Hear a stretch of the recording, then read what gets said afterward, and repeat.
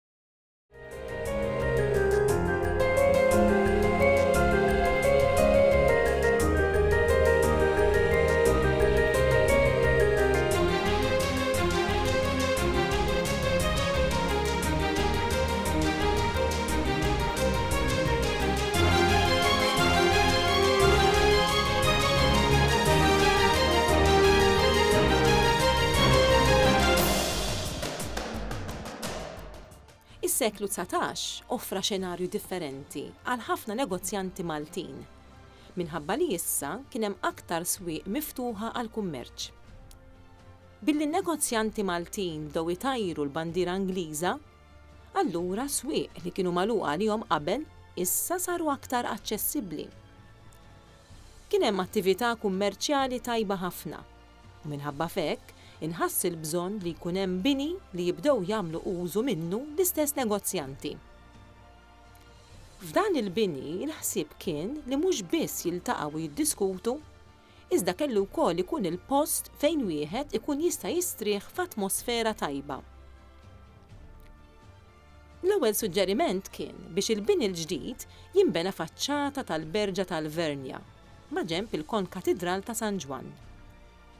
Dan, naturalment, ma kienx aċċettat mill-awtoritajiet. Kien hemm post ieħor issuġġerit u dan kien fil-Pjazza San Ġorġ, quddiem il-Palazz tal-Gvernatur. Anke dan il-lok ma kienx aċċettat.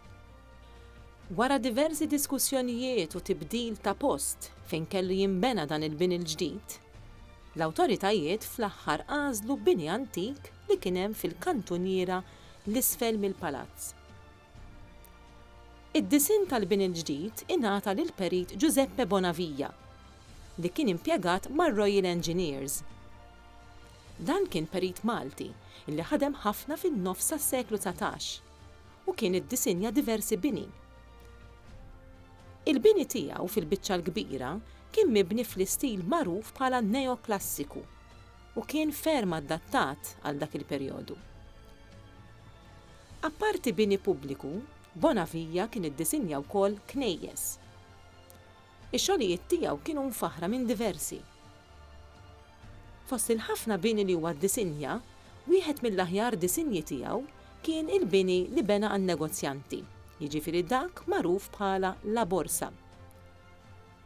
Il-faċċata ta' dan il-bini hija interessanti minħabba kif Bonavia iddisinjah. Huwa qassam il-faċċata fi tliet partijiet u fl-istess ħin għamel użu minn stil kemxejn differenti minn dak li wieħed kien jara s-soltu.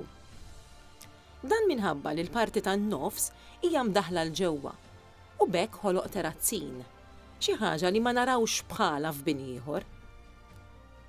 Biex ikompli jżejjen it-terazzin u jkompli jispikka, ħaseb ħalli il-kolonni li kienu qegħdin iżommu lil dan it-terazzin ikunu mżejjna wkoll. B'kollox hemm sitt kolonni maħduma fi stil Joniku. Dawn il-kolonni joffru stabilità u fl-istess ħin inaqqsu mill-monotonija ta' faċċata kbira mingħajr it-tiżjin Barokk li kulħadd huwa mdorri jara. Mal-faċċata hemm diversi dettalji u disinji oħra li jirriflettu l-ħsieb klassiku, li kien il-ħsieb wara dan l-istil ta' bini. Għalkemm il-bini tal-borsa kien biex ikun hemm post soċjali fejn setgħu jiltaqgħu l-membri tal-komunità kummerċjali Maltija, fl-istess ħin kien joffri post ukoll fejn setgħu jiddiskutu suġġetti marbuta mal-mistier tagħhom. Iżda aktar ma għadda ż-żmien, aktar beda jkun hemm bidla fil-ħsieb u fl-użu tal-bini. Illum il-ġurnata dan huwa post fejn tingħata l-għajnuna u pariri meħtieġa. Il-Borsa għadha kkunsidrata bħala wieħed mill-aħjar bini li nbena f'nofs is-seklu dsatax.